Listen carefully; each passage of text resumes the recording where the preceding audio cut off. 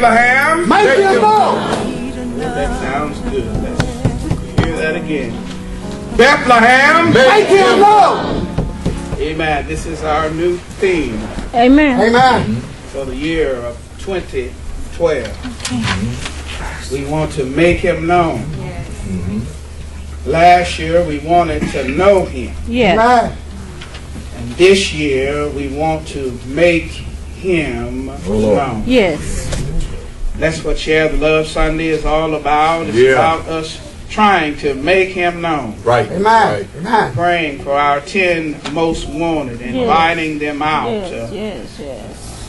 having a conversation with them about Jesus. Mm-hmm. Now, we can't force anyone That's right. to know him. Come on. Come on. All we can do is be a witness. And if you witness right, oh, someone will want to know They him. will. Amen. Yes. Amen. Amen. Amen. Henceforth, this month, that's what we've been talking about all of this month. Uh, to make him known. Mm-hmm. Had the preacher on New Year's Eve night help to lead us Mm-hmm. in the text that we are standing on all year long. Verse 20 says, Go, stand, and speak. Go, stand, and speak. Mm-hmm. And all this year we want to go, stand, sit, lean, whatever, and mm-hmm. speak Yeah. about Him. Amen. Amen. And praise the Lord for our witness. Our mm-hmm. witness. Witness. Mm-hmm. This morning we're going to share a message entitled The Well Water Revival. All right. Yes, sir. Well Water Well Revival. Mm-hmm. And I need you to do me a favor. Because of time, I couldn't preach the whole text. I want you to do your homework assignment and read the whole book of John chapter 4. All right. But this morning we're going to be focusing on 39 through 42. John chapter 4, verses 39 through 42. Would you stand in reverence to the Word of God? Stand symbolically saying that I will stand on the Word, The Word. of God. Yes, sir. Say to your neighbor, neighbor, Neighbor. or neighbor, Oh, neighbor. I'm going to stand I'm going to stand stand. on the Word of God. on the word of God. Amen. It's one slide. One slide. Let's read this out loud together at one time on three. One, two, three. Many of the Samaritans from that town believed in him because of the woman's testimony. He told me everything I ever did. So when the Samaritans came to him, they urged him to stay with them, and he stayed two days. And because of his words, many more became believers. They said to the woman, We no longer believe just because of what you said. Now we have heard for ourselves, and we know that this man really is the Savior of the world. Amen. You may be seated Yes, sir. in the household of the Lord. You may be mm-hmm. seated Amen. in the household of the Lord. And again, this morning we're talking about the well water mm. revival. Yeah. The well water revival uh, began with a conversation. Mm-hmm. That conversation led to a convert, and that convert led to a company of people coming to know him. right. All right. All right. Word. Again, we're talking this morning about the well water revival, and we want Christians to know this morning that Christians should have a conversation about Jesus. Yes, sir. Christ. Should have. Christians should have a conversation about Jesus Christ. Yeah. Many of you may be familiar with this story. It's a story uh, known uh, as the, Sane- the Samaritan woman Yeah. Yeah. by the well that Jesus ran into. I say that Jesus ran into, and hmm. I think the Sunday school teacher touched on it a little bit this hmm. morning. Yes, sir. Uh, Amen. Amen. It was a place called Samaria. Mm-hmm. Mm-hmm. And Samaria to the Jewish people mm-hmm. was not a place that they liked to go. All right. Yeah, yeah. Literally, the Orthodox Jewish person hated the Samaritan people so much that instead of going through Samaria, they would literally go around Right. Samaria. Right. Somebody told me that the fastest way to a place is a straight line. Mm-hmm. But their hatred was so hatred because the Samaritans were a mixed race people. Right. Right. And the Jewish folk uh, just literally hated them. They were prejudiced. Yes. And then come along this man by the name of Jesus, the man that some called a rabbi. And instead of going around like most Orthodox Jews would do, Jesus told his disciples, let us go through Go through. Samaria. Yeah. We must need to go through Samaria. Oh, this is not a part of my sermon, but maybe some of you need to realize that you've got to overcome, uh, oh, your prejudices and life and uh, take that straight line through uh, Samaria, and maybe somebody will get saved if you open your mouth. Uh, some of you only want to tell the good news to those who look like you, All those right. who talk like you, those who walk like you. My Lord. But God has called us as a people to baptize all nations. All nations. Yes, sir. All nations. And how will all nations know unless you open your mouth? All right. Hello, somebody. Right. Modern day term is that cross cultural witnessing. Oh, but there's some other folk. Uh, maybe it's not that you have to witness to somebody. Maybe it's that you have to go through something that you didn't want to go through. Oh, Lord. Mm. Well. Well, And God is saying that you, have to go through this. Uh, Oh, He may be saying to somebody that is listening at the sound of my voice, uh, oh, you wanted to work out, but but but you may have to go through a divorce. oh, Lord. You may have to go through cancer. You may have to go through the storms uh, in life uh, because you can't make nobody do anything. You you can't make a mate that abandoned you, uh, oh, to come back home and live with you and to love you. I know of a person that, oh, they, they still say that they're married, but their mate hasn't been there in a whole year's time. Come on.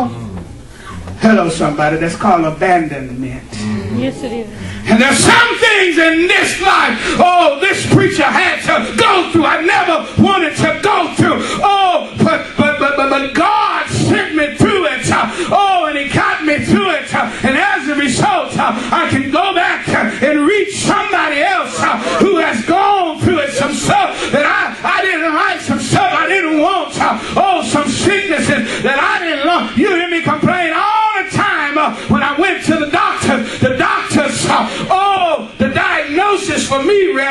I was obese. Come on. Lord. Come on. Hello, somebody. Well, And that I had to lose some weight. It was causing me high blood pressure. So now, almost every day, I have to go through the gym. Hello, somebody.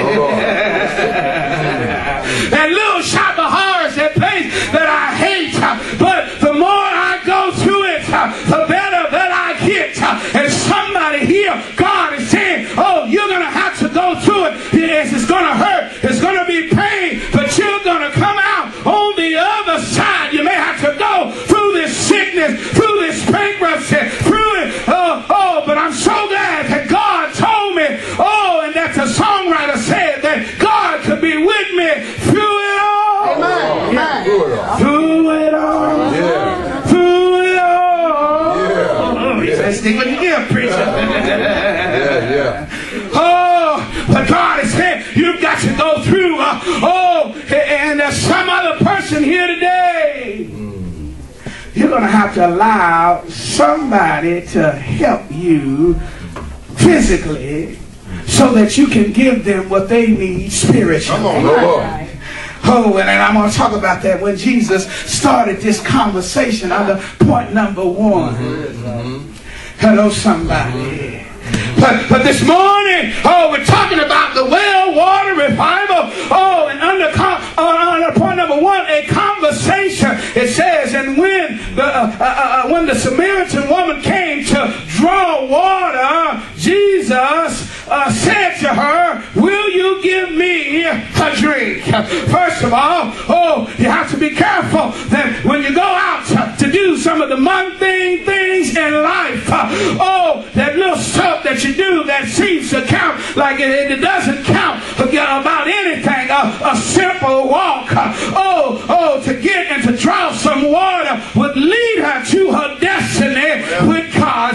And you've got to be careful, oh, and be ready, oh, to do the mundane things, oh, because in doing those things, you can uh, get in contact with God. Hello, and that maybe that's why Mama and them used to sing all the time when, oh, when they did the housework. Maybe that uh, why back in the cotton field they, they used to sing all the time because when they, they would come in contact with God in the minute things of life. All right. Hello, somebody. Have you come in contact with God? My Lord. All right. Yes, And again, like I said before, a conversation. It's interesting what Jesus said in this conversation. He began the conversation letting someone meet his physical need so that he could meet her spiritual need. Mm-hmm. Hello, somebody says, and when the Samaritan woman came to draw water, Jesus said to her, Will you give me drink? Mm-hmm. Jesus wasn't too proud to ask for help. All right. Come on. Hello, somebody. Some of us Christians, we get too proud to, to ask for help, get too proud to go to the doctors, get too proud to, to, to allow someone to help us. Oh, but maybe it is in that moment of when you need help that God is leading you to a divine appointment him. Say to your neighbor, neighbor, Neighbor. oh neighbor, Oh, neighbor. are you ready to have a conversation? Ready to have a conversation. He, he, he was ready. And in this conversation, he had the need. Don't be oh, afraid to oh, witness uh, to those that are helping you. Don't be afraid to witness uh, to the doctors. Don't be afraid to witness uh, to those folk that help you, your boss, uh, and other people that can help you. Don't be afraid when you're going to get your needs met physically. Oh, to transfer, oh, and flip the script and have a conversation about Jesus. Come on. Yes, Come on. sir. Are you ready to have a conversation? Yes, sir. A conversation. A conversation. In this minute moment, in this minute time, just simply going to uh, to get a drink of water. Just simply, just simply going. She she met Jesus. All right. And, and it happened many times in the in the Bible. These little minute moments uh, of where uh, uh, folk would go out to the well. In Genesis 24, verse 17, the text says, "The servant hurried to help her or meet her and said, Please give me a little drink of water uh, from your jug." And that was, uh, oh, Abraham's servant uh, who went off uh, to find a wife for Abraham's son. And the servant had prayed a little popcorn prayer and, and said, if this person is, is willing to help me, then, then maybe this person is the one for uh, my, my, my servant or, or my master's son and her willingness to help in the little minute things of life, her, her willingness uh, to help uh, would, would cause her to meet her destiny. Never underestimate the power of service. Amen. Amen. The greatest in the kingdom of God shall be a servant. Many people want titles, uh, oh, but they don't want the titles to serve God. Come on. Amen. God is calling us here to be a greater church, and He wants us uh, to serve Him greatly. Amen. And when we serve Him in the little minute things, as we've been talking about, picking up the trash, uh, oh, that's that's a minute thing. We want you to pick up the trash. Oh, oh, you don't leave the trash down at home. Uh, oh, then don't leave it down at your church. Pick, pick up the trash. Take take care of the little stuff that you do for Jesus. Amen. Amen. One thing that really impressed me was, uh, oh, I was walking one time and Dr. E.K. Bailey, he's pastor of the Concord Missionary Baptist Church there in, in Dallas, Texas, and he and he was a pastor of a mega church, and he walked down the hall and saw a piece of trash, and guess what he did? He didn't call his deacons to come and pick it up. He picked it up himself. Amen. Amen. He was a big man willing to stoop low. And God uses those kinds of people. Amen. Are you willing to stoop low? Are you willing to serve God in the minute things of, of life? Are you willing to simply have a conversation about Christ? Many people, that's the hardest thing to do, but all you've got to do is to flip the script. And if you know the word, you can change the conversation from the physical need that you are trying to get re- met to a spiritual need. Yeah, Lord. Amen. Amen. Jesus told her about a water in a well that she wouldn't have to draw from. Mm-hmm. It would, it, would, it, it would lead to eternal life. This little conversation. Say to your neighbor, neighbor, Neighbor. oh neighbor, Oh, neighbor. are you ready to conversate Are you ready to conversate about that? Don't you know that the greatest marketing on planet Earth is still word of mouth? Right. Sure is. Now, many of us, we have these fancy smartphones. And we can text and we can update our status on Facebook, tweet, and do all this kind of stuff just from the phone. Uh, oh, but the greatest, again, witness is word of mouth. Mm-hmm. Word of mouth. Word of mouth. Just have a conversation mm-hmm. about Christ That's it. Conversation. The same way you have a conversation about that place that you love to eat. Uh, oh, uh, there's a place uh, that, that, that we took Sister Eaton to for her birthday called Texas de Brazil. Ooh, and it has some good food. Ooh, ooh, yeah. Uh, uh, uh. All kind of steaks and filet mignons they bring into. Oh, the preacher had to back away from the table. Lord. So I was on the verge of gutting there, preacher. but but word of mouth, and now I spoke about it, and now you want to go. Hello, somebody. Mm-hmm. That's what you got to do about Jesus. Mm-hmm. Just have a, a conversation about. You don't have to be an experienced preacher. You don't have to be Billy Graham. All you have to do is tell about your personal experience with him, and, and if you know him, uh, guess what? You can witness. Right. Amen. Hello, somebody. Amen. Amen. As a matter of fact, that's, that's the first thing that most people do when they come to know Jesus is witness for him. Right. Right. About the change that he, he made in my heart. I used to worry all the time. Now I have peace. I have joy. Oh, that's a witness. Witness. I, I gave my life uh, to Jesus Christ and, and, and things have changed. Amen. Yes. Things have changed. Jesus uh, just had a conversation with this woman. Oh, and that conversation led to a convert. Can you conversate about Jesus?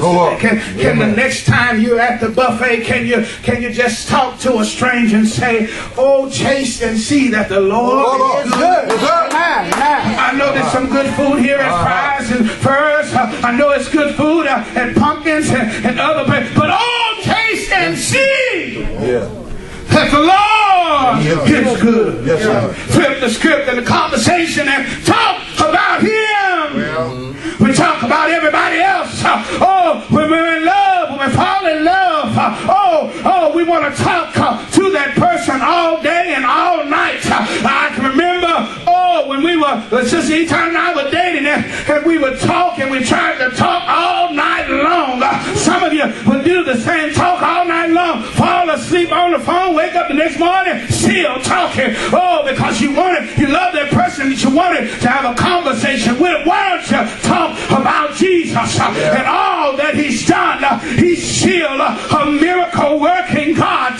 He still delivers. He still set free. Oh, but the world won't know it until we start talking about him. Amen. Amen. Why it's always good to have new converts because old converts, uh, oh, get a little stale. Come on. Come on. Hello, somebody. And, and we forget and, and we lose our influence, our spear to reach people. Oh, and, and maybe, oh, we're, we're old convert, but we've talked to everybody in our sphere of influence. Uh, oh, but God is saying that you haven't talked to not everybody in your influence. Now it's time to cross over, talk to them people that you hate, talk to them people that you don't like, talk uh, to folk uh, that you can't stand. Uh, oh, that's your harvest field. My Lord. Hello, somebody. Amen. Jesus talked in this conversation. He talked with uh, number one, a Samaritan. He overcame prejudice. Number two, he talked to a woman, and usually Jews wouldn't talk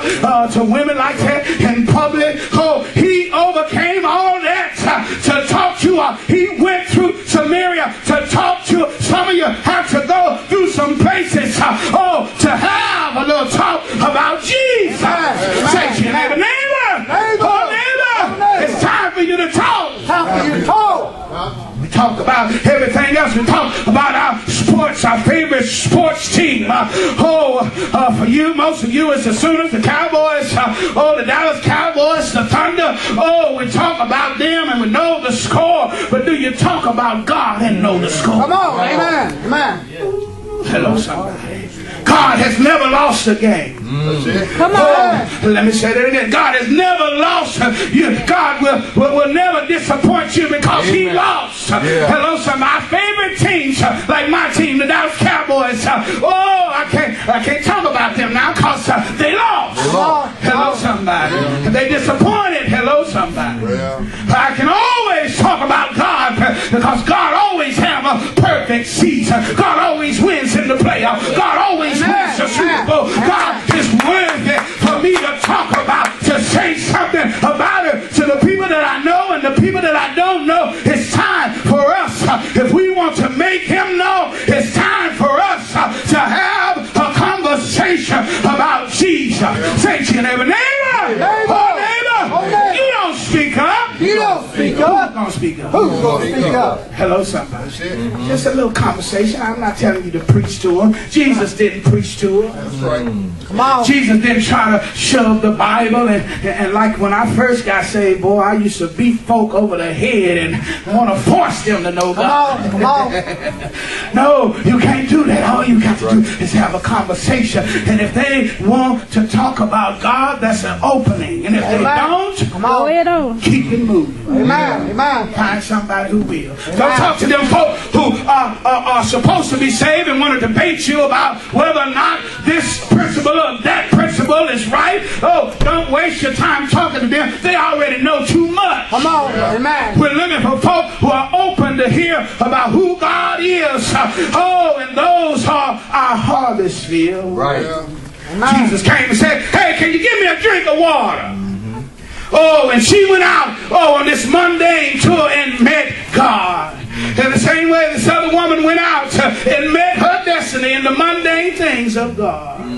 Now, we talk about the convert uh, that conversation led to a convert. It says in verse 28 uh, of John chapter uh, 4, it says, Then leaving her water, just see, it wasn't about the water anyway. Come on. Come on. She came meeting a need, getting a need met, and had a conversation with Jesus. uh, And guess what? And left that water jar behind.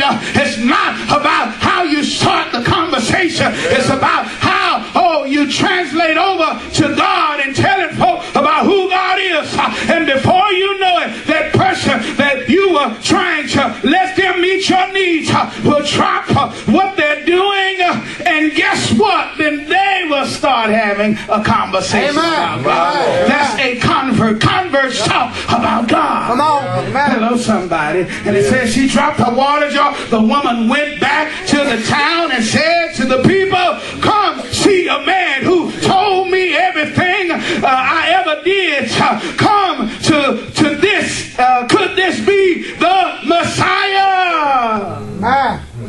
Come see a man who told me everything I ever did.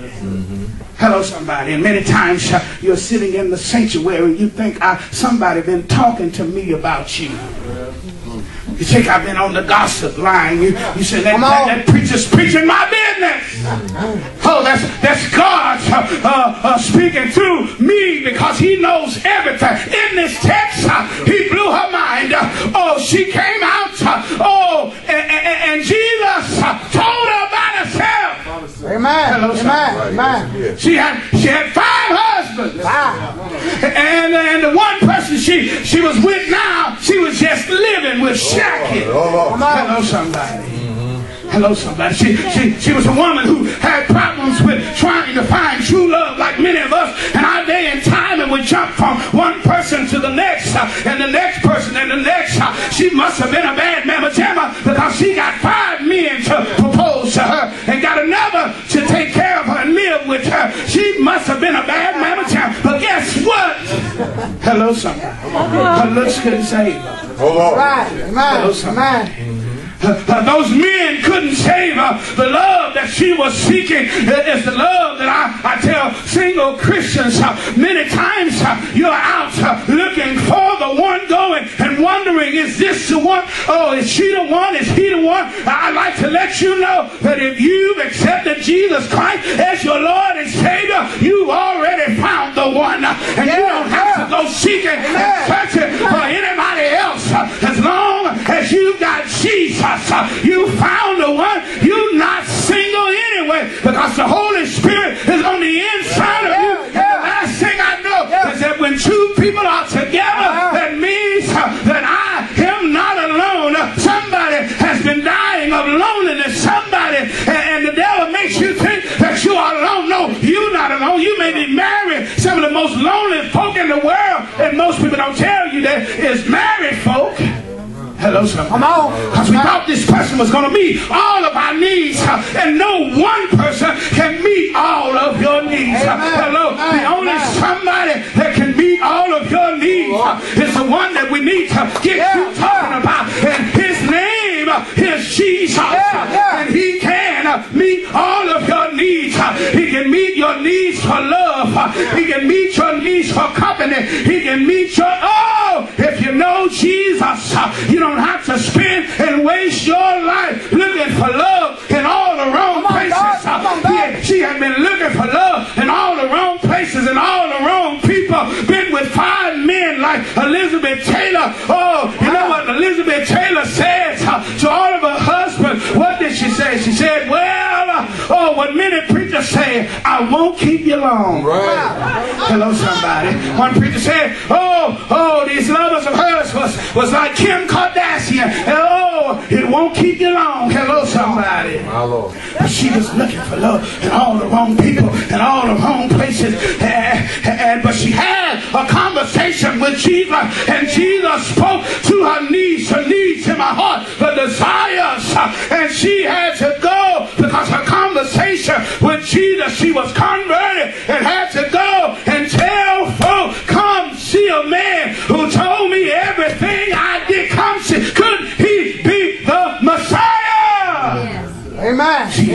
a convert, and she had to go back and tell the whole town about a man that, that, that, that told her about herself. Right. Hello, somebody. Can, do you serve this same God? I believe that you do.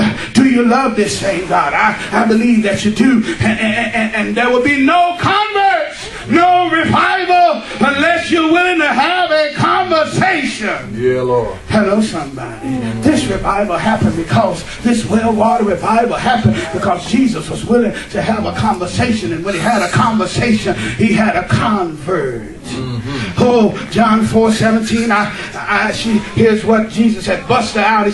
She said, I have no husbands. She said, and Jesus said to her, You're right when you say that you have no husbands. In fact, you have had five husbands, and the man that you have now is not your husband.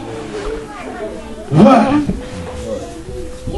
you are, or what you have just said, is quite true. You see, and that's another thing.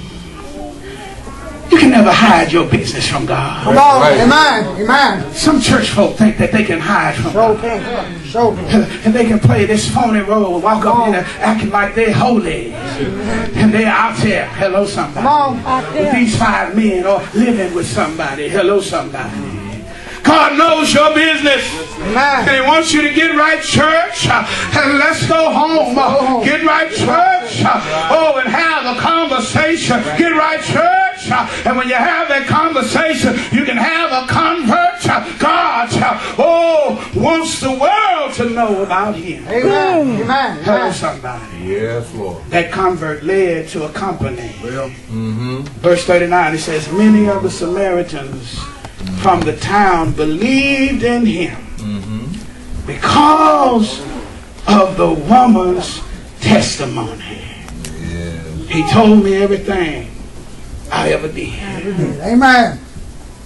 That's another thing. Usually, normally, a person responds by someone of their own sex. But God used this woman.